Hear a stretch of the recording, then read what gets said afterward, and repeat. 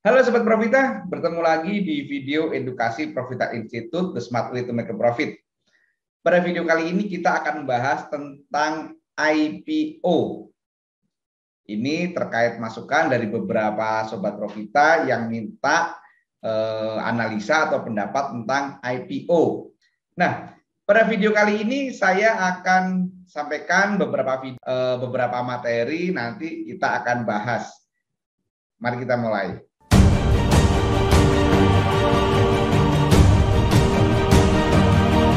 Nah, Sobat Profita, sebelumnya tolong dipahami bahwa nanti saya akan menggunakan bahasa-bahasa sederhana supaya mudah dipahami oleh awam. Jadi kalau nggak sama dengan textbook, mohon maaf. Itu memang sengaja supaya mudah dipahami. Selanjutnya, tidak ada perintah atau larangan beli saham tertentu. Penyebutan kode saham hanya untuk contoh belajar.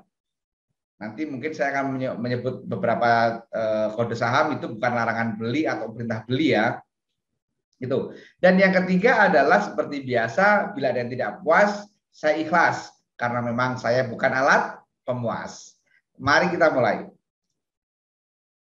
Sekarang kita melihat fakta seputar IPO WMUU. WMUU ini berdiri sejak tahun 95. Oh iya, WMUU itu perusahaan apa? Ini adalah Widodo Makmur Unggas. Perusahaan ini sudah berdiri sejak tahun 95 Udah lama ini. Kemudian fundamentalnya pun bagus. Jadi ini dari prospektusnya banyak yang mengatakan bahwa WFUU ini fundamentalnya bagus. Sudah bagus, perusahaannya kuat pula karena sudah berdiri sejak sebelum krisis 98. Kemudian waktu IPO, selepas IPO harganya langsung melejit kemudian turun sampai hari ini. Nah ini tiga hari pertama dia luar biasa naiknya, kemudian turun turun turun sampai hari ini masih di bawah harga IPO. Salahnya di mana? Gitu kan? Ini WMUU. Kemudian kalau kita lihat dari GTSI, ini juga perusahaan lama. Gitu kan? GTS ini disebut memiliki fundamental yang bagus, apalagi eh, GTS ini disebut eh, ada kaitannya dengan eh, pemerintahan Orde Baru gitu kan. Dan sudah beroperasi sejak tahun 30 tahun yang lalu gitu kan. Nah, ini beritanya sudah muncul nih waktu itu gitu kan. Nah, tetapi sayangnya hari pertama IPO langsung ARB berhari-hari. Harganya langsung nyungsep, langsung terjun bebas sampai berhari-hari. Bahkan sampai hari ini saham GTS ini harganya jauh di bawah harga IPO. Nah ini, kenapa ini bisa terjadi? Setelah IPO harganya langsung terjun tuh dua tiga itu, nggak dikasih kesempatan untuk jual sama sekali gitu kan. Nah, oleh karena itu mari kita bahas satu persatu. Kita akan bahas tentang fakta seputar IPO. Jadi, kalau menurut saya pribadi, sebagus apa pun perusahaannya, sebagus apa pun fundamentalnya saat dia IPO, maka tetap saja perusahaan itu merupakan newbie di pasar modal. Dia pemain baru. Jadi kita nggak ada yang bisa kita analisa, namanya pemain baru kita nggak bisa analisa apanya ini. Sejarahnya nggak ada, riwayatnya nggak ada. Kemudian tidak ada data apa pun yang bisa menjamin bahwa IPO suatu perusahaan itu akan sukses. Nggak ada data yang bisa menjamin. Gitu kan? Nah, jadi sekali lagi saya bilang bahwa IPO itu membeli kucing dalam karung. Kita hanya bisa mendengar ngeongnya saja, nggak bisa lihat fisiknya.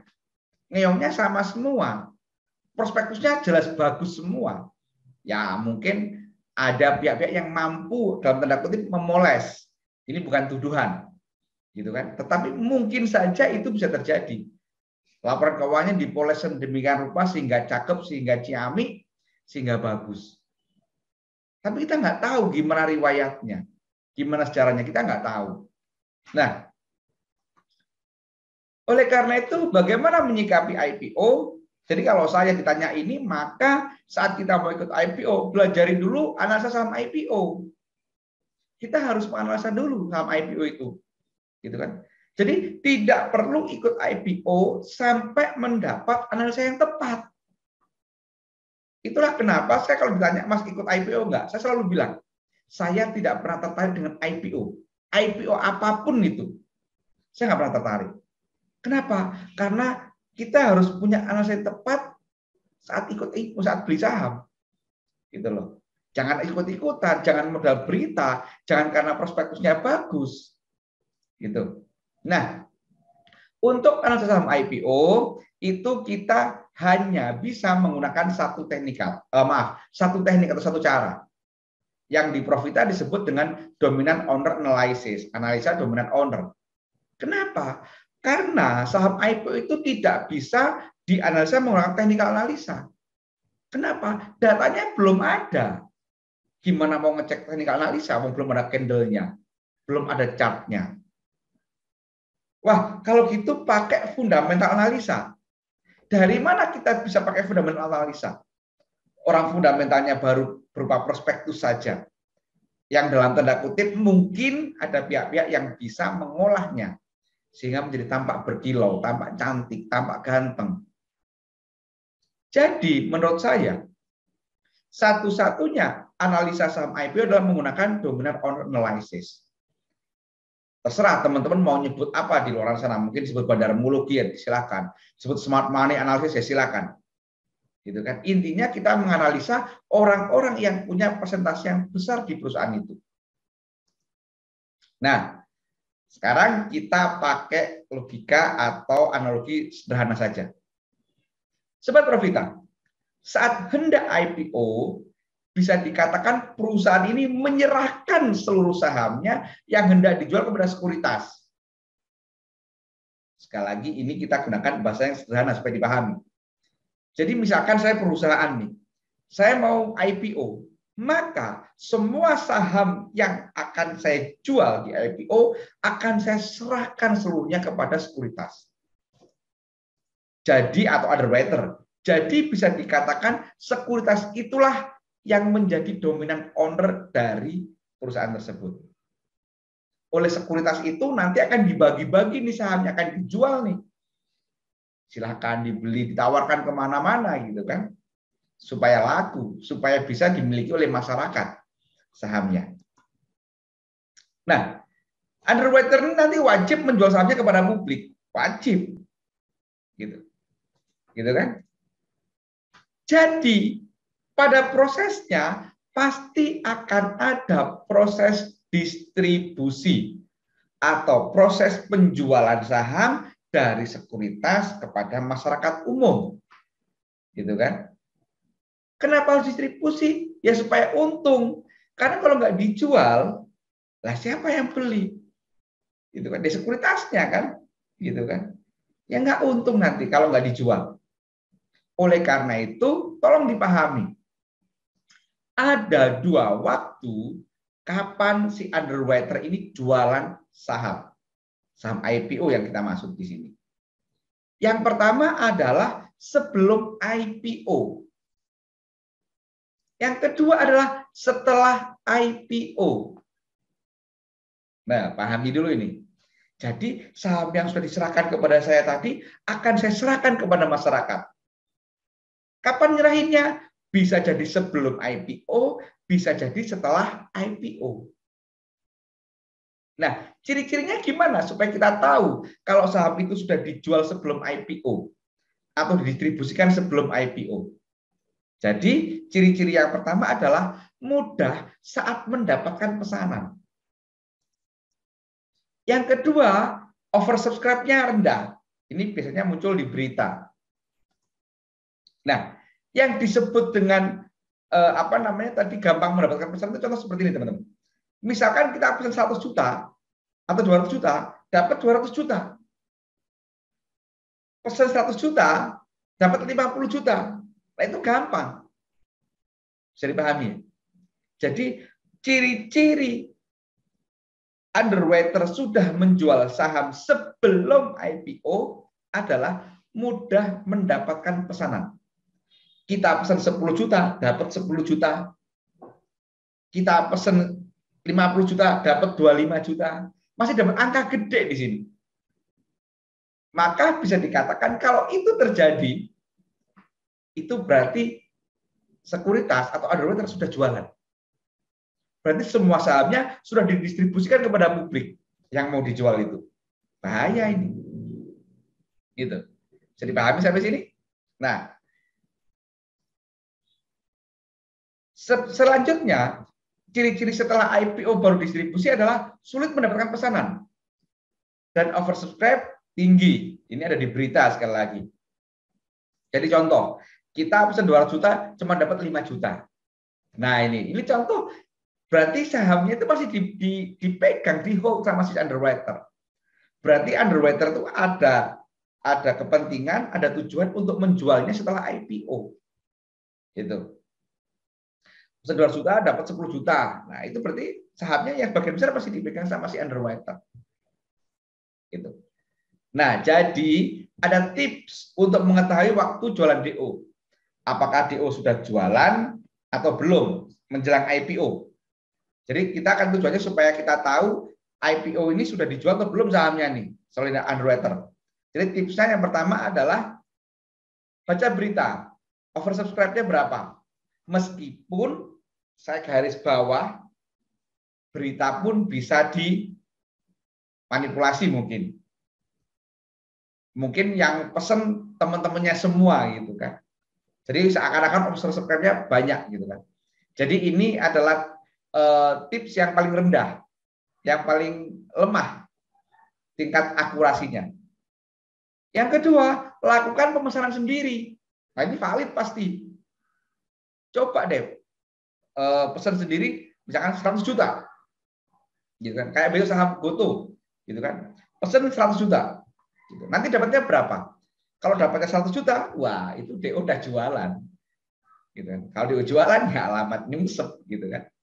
Sementara kalau DO masih megang gitu kan kita dapat 100 juta cuma dapat 1 juta kemungkinan akan naik tinggi. Nah yang ketiga kalau nggak mau pesan sendiri tanya ke temen yang ikut IPO misalkan punya temen nih kamu ikut IPO nggak? Ikut ikut. Pesan berapa? 100 dapat berapa? 50 wah ini bakal nyungsep ini sahamnya karena underwater sudah jualan semua gitu kan. Nah kesimpulannya adalah analisa saham IPO baru bisa dilakukan setelah IPO ini kesimpulannya. Oleh karena itu sekali lagi saya bilang IPO itu seperti beli kucing dalam karung karena kita nggak bisa menganalisa dengan tepat sampai sebelum IPO.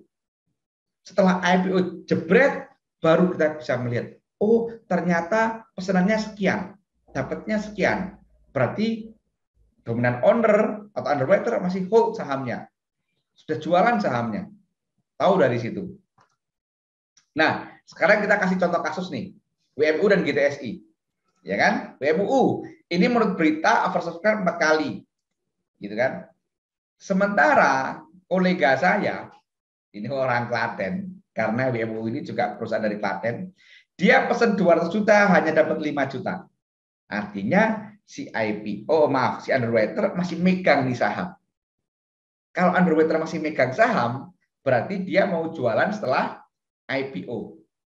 Artinya harganya akan dikerek dulu. Karena nggak mungkin dia jualan setelah IPO tapi harganya malah turun kan makanya dinaikkan dulu. Kesimpulannya dari saham WMU ini setelah IPO harga naik tinggi. Saat naik tinggi itu ada distribusi dan distribusi itu dilakukan oleh sekuritas yang menjadi underwriternya. Nah, ini loh di WMU. Jadi dua hari pertama IPO itu naik tinggi. Jauh di atas harga IPO. Ternyata saat naik tinggi inilah underwaternya jualan di atas. Berarti kan untungnya lebih banyak ini si underwater dibandingkan jualan di harga IPO. Ini loh maksud saya. Gitu ya. Nah, ini contoh. Jadi pada saat tiga hari ini, wah ini sempat naik tinggi sampai atas. Gitu kan. Kemudian dibanting juga waktu hari ketiga. Ini dia distribusi besar lihat nih yang jualan ini adalah IFODYU, yang mana ini merupakan underwriternya jualan. Gitu kan. Underwriter saat setelah IPO jualan gede banget gitu kan. Nah, sampai hari ini pun masih jualan nih. Itu kan sampai sampai eh, beberapa bulan kemudian. Jadi kesimpulannya WMU itu masih turun jauh gitu kan. Nah, sekarang GTSI. GTSI ini over nya dua kali dari berita ada. Gitu kan. Nah, ini merupakan anak usaha PT Humpus Intermodal. Tahu sendirilah siapa siapa eh, di balik Humpus gitu kan. Kemudian, nah ini perhatikan, ada lima kolega saya yang pesan saham GTSI, ada yang 100 juta, ada yang cuma 100 lot, semuanya dapat. Yang 100 juta dapat 100 juta. Ini orang Bekasi ini. Gitu kan. Ada yang pesan cuma 100 lot, dapat 100 lot. Semuanya dapat. Maka dari cerita saya tadi, kita bisa menyimpulkan. Ya kan? DO sudah jualan nih sebelum IPO. Maka harganya akan turun. Benar kejadian. Hari pertama turun langsung ARB. Distribusi besar, top bayarnya retail. Ini ada YP, CC, XC, ini retail semua. Gitu kan. Nah, kesimpulannya harga saham ini akan susah untuk naik. Gitu kan. Nah, itulah teman-teman penjelasan saya tentang analisa saham IPO. Kenapa saya mengatakan saham beli apa ikut IPO itu sama dengan beli kucing dalam karung. Itulah penjelasan saya. Kalau kita simpulkan, yang pertama adalah satu harga IPO atau IPO itu nggak pernah menarik karena kita nggak bisa analisa. Kita bisa menganalisa saham IPO sesaat setelah IPO. Gitu kan? Andai harga naik saat IPO, maaf, pasca IPO, maka jumlah lotnya kecil. Gitu kan? Kayak tadi, teman saya pesan 200 juta cuma dapat 5 juta. Naik tinggi. Gitu kan? Tapi cuma 5 juta. Enggak 200 juta. Gitu kan? Sementara kalau dapatnya banyak, 100 dapat 100, harganya cenderung turun pasca IPO. Gitu. Jadi kalau teman-teman ingin ikut IPO, tujuannya bukan untuk cari cuan. Tapi tujukan ikut IPO untuk melihat apakah underwriter sudah melakukan distribusi atau belum. Bisa dipahami? Jadi sekali lagi kalau ikut IPO jangan ditujukan untuk cari cuan, tapi tujukan untuk melihat apakah si underwriter sudah distribusi atau belum. Demikian penjelasan dari saya tentang saham IPO. Semoga bisa dipahami. Apabila ada yang kurang berkenan, mohon maaf. Apabila ada pertanyaan, silakan cantumkan di kolom komentar, nanti akan kita bahas. Apabila ada request tentang materi yang akan kita bahas, silakan sampaikan di kolom komentar juga. Nanti akan kita buatkan video penjelasannya. Demikian video kali ini. Semoga bermanfaat. Terima kasih. Wassalam.